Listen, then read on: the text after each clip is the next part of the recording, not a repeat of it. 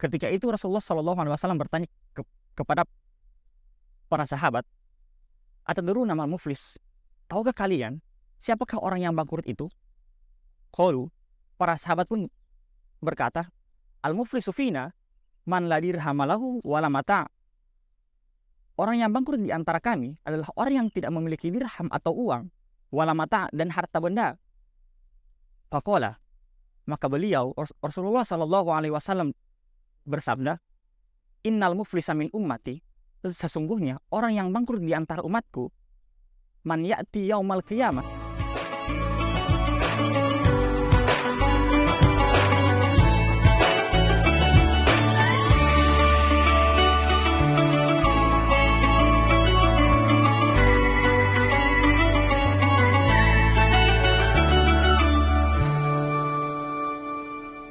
Bismillahirrahmanirrahim.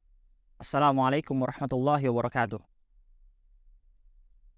Alhamdulillah. Alhamdulillahilladzi arsala rasulah bil huda wa dinil haqq yudhhiruhu 'alan dini kullihi wa kafa billahi syahida. Asyhadu an la ilaha illallah wa asyhadu anna Muhammadan 'abduhu wa rasuluh. Rabbi shrah li sadri wa yassir amri wa hlul 'uqdatam min lisani yafqahu qawli amma ba'd.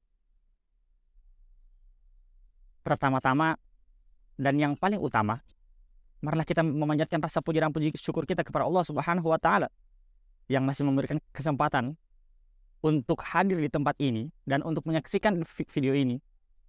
Salawat bertengkaikan salam. Semoga curahan salawat kita itu akan sampai kepada baginda Rasulullah Sallallahu Alaihi Wasallam. Baik, berbicara tentang bulan Ramadan, satu hal yang tidak asing lagi dengan bulan Ramadan, di mana para di mana umat-umat Islam itu akan meningkatkan seluruh ibadah mereka. Sebagaimana yang bisa kita lihat dari ibadah sholat. Ketika di bulan-bulan lain, sholat subuh itu didom, didominasi oleh orang-orang yang yang tua saja. Anak muda di masjid ketika sholat subuh itu sekitaran satu, dua, atau bahkan sampai tiga orang. Tapi ketika bulan Ramadan tiba, justru anak muda lah yang yang mendominasi kuantitas masjid itu. Begitupun dengan sholat isya.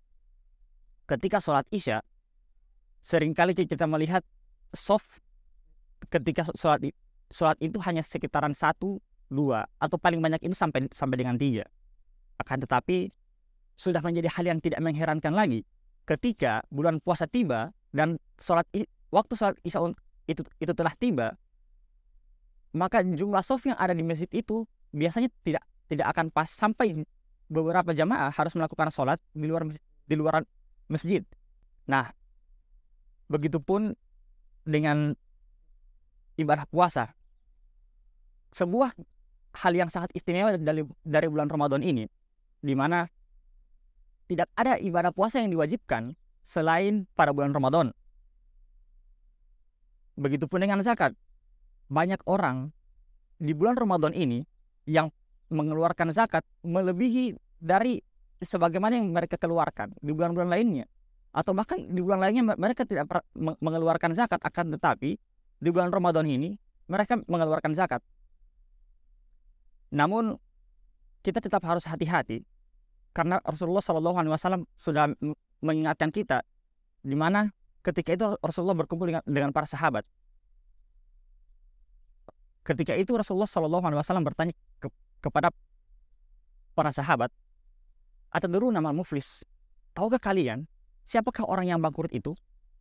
Qalu, para sahabat pun berkata, al muflisu fina man la dirhamalahu wala mata.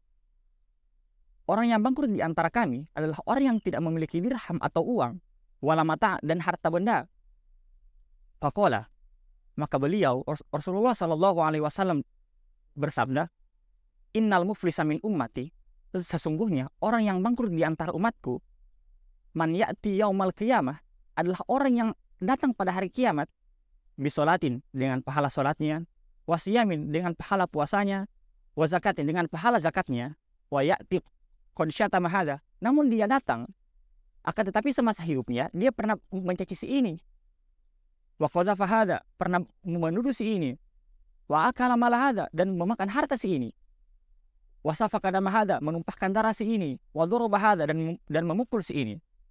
Si ini yang dimaksud di sini ini bisa berarti siapa saja, entah itu teman, entah itu orang lain yang tidak kita kenal atau bahkan itu keluarga kita sendiri.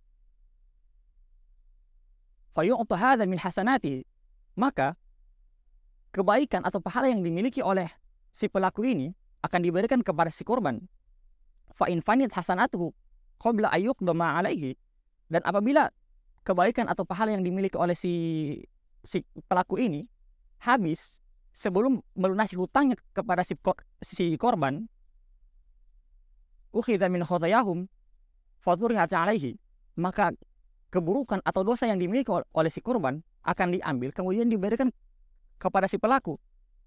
Summa summa turiha finar kemudian dia akan dilemparkan ke dalam neraka. Jadi sahabat Ramadan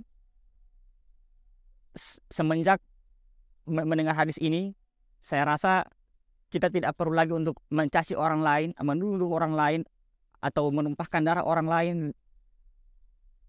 Dikarenakan hal itu dapat menyebabkan kita menjadi orang yang bangkrut di hari kiamat nanti. Lebih dan kurangnya saya mohon maaf. Wabillahi taufiq wal hidayah. Khairukum man ta'alama al-Quran wa 'allamah. Wassalamualaikum warahmatullahi wabarakatuh.